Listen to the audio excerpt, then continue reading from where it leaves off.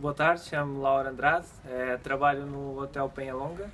Já trabalhamos com a Universidade Europeia já há algum tempo, há pelo menos mais de 4 anos. Para nós é um orgulho estar presente no primeiro ano da feira de recrutamento, ao qual